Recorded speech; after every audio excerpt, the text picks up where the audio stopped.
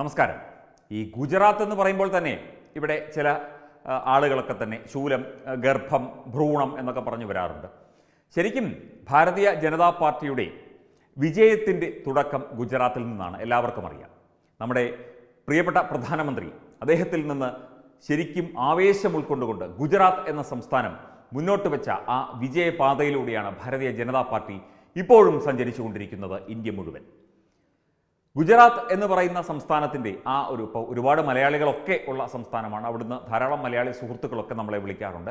ശരിക്കും ഒരു നിക്ഷേപ സൗഹൃദ സംസ്ഥാനമായിട്ട് ഗുജറാത്ത് എന്നേ മാറിക്കഴിഞ്ഞിരിക്കുന്നു. ആർക്കും പോയി ബിസിനസ്സോ കാര്യങ്ങളോ എന്തും തുടങ്ങാനുള്ള എല്ലാ അവസരങ്ങളും ഗുജറാത്ത് സർക്കാർ നൽകുന്നുമുണ്ട്. കഴിഞ്ഞ ദിവസം രാജ്യസഭയിലേക്ക് രണ്ട് എം പിമാർ മരിച്ചതിന്റെ ഒഴിവിലേക്ക് ഒന്ന് ശ്രീ അഹമ്മദ് പട്ടേലാണ്. അപ്പോൾ അദ്ദേഹത്തിന്റെ സീറ്റുകളിൽ ഉൾപ്പെടെ ബി ജെ പി എം പിമാരാണ് വിജയം നേടിയത്. ഇപ്പോൾ എം എൽ എമാരുടെ കണക്കുമൊക്കെ വെച്ചുകൊണ്ട് അങ്ങനെ പറയാം എന്നുള്ളതല്ലാതെ ബി ജെ പി ശക്തമായ ഒരു തേരോട്ടമാണ് ഗുജറാത്തിൽ ഇപ്പോഴും നടത്തിക്കൊണ്ടിരിക്കുന്നത്. അതാണ് സത്യം.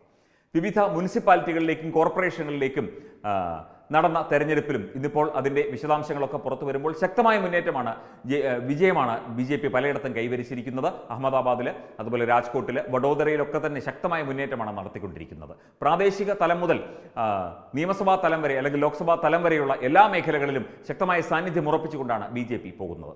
അപ്പോൾ പിന്നെ കോൺഗ്രസിന്റെ കാര്യമോ? അഹമ്മദ് പട്ടേൽ ഇരുന്ന സീറ്റ് കൂടി കോൺഗ്രസിന് നഷ്ടമായിരിക്കുന്നു എന്നുള്ളതാണ് വാസ്തവം.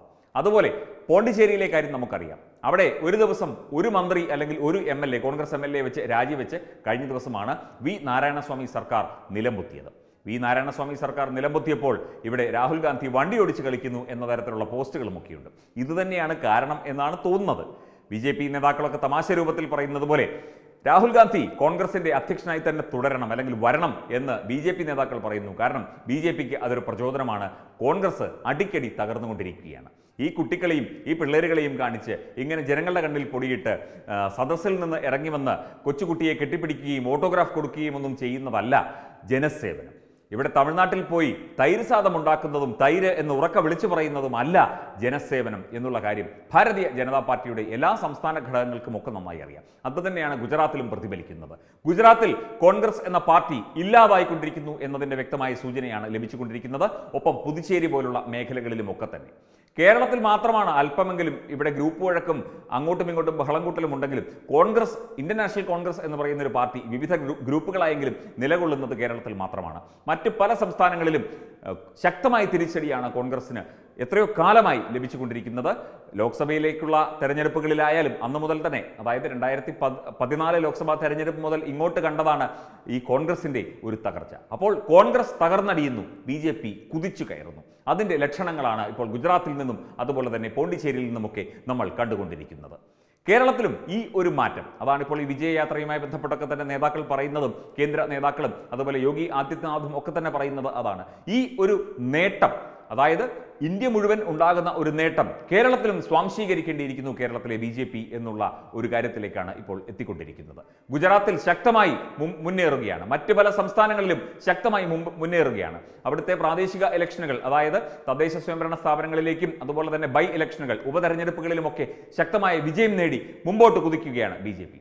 B J പിയുടെ കുതിപ്പ് തടയാൻ ഇവിടെ ആർക്കും കഴിയുന്നില്ല. കോൺഗ്രസ് എന്ന് പറയുന്ന ഒരു പാർട്ടി. ശരിക്കും ബി ജെ പിക്ക് ഒരു പ്രതിപക്ഷം എന്ന് പറയുന്നത് കോൺഗ്രസ് ആണെന്നാണല്ലോ പറയുന്നത്. പക്ഷേ അത് ഒരു പ്രതിപക്ഷം പോലും അല്ലാതായിരിക്കുന്നു ഇന്ത്യയിൽ എന്നുള്ളതാണ് വാസ്തവം. ബി ജെ പി കുതിക്കുകയാണ് കുതിച്ച് കയറുകയാണ് എല്ലാ മേഖലകളിലേക്കും. ജനനന്മയ്ക്കായി ജനങ്ങളുടെ വികസനത്തിനായി രാജ്യ പുരോഗതിക്കായി രാജ്യത്തിന് വേണ്ടി നാടിനു വേണ്ടി ലോകത്തിന് വേണ്ടി എല്ലാ മേഖലകളിലും പ്രധാനമന്ത്രി നരേന്ദ്ര ദാമോദർദാസ് മോദിയുടെ നേതൃത്വത്തിൽ Bharatiya Janata Party J P നദ്ദാജിയുടെ നേതൃത്വത്തിൽ ഇതാ കുതിച്ച് കയറുകയാണ് എല്ലാ മേഖലകളിലും. തീർച്ചയായും ഇത് തുടരുക തന്നെ ചെയ്യും. കോൺഗ്രസ് തകർന്ന് അടിഞ്ഞു കഴിഞ്ഞു. ഇനി അടിഞ്ഞുകൊണ്ടിരിക്കുകയാണെന്ന് പറയുന്നില്ല. തകർന്ന് അടിഞ്ഞു കഴിഞ്ഞു. എന്നിട്ടും ഇവിടെ കോൺഗ്രസിന്റെ യുവരാജാവ് ഇവിടെ തൈരസാദമുണ്ടാക്കുകയും കൊച്ചുകുട്ടികളുമായി പാട്ടുപാടി കളിക്കുകയും നൃത്തം ചെയ്യുകയും ചെയ്തുകൊണ്ട് നടക്കുകയാണ്. അതുതന്നെയാണ് കോൺഗ്രസിന്റെ കുഴപ്പവും. വെബ് ഡെസ്ക് തത്വമേ ന്യൂസ്.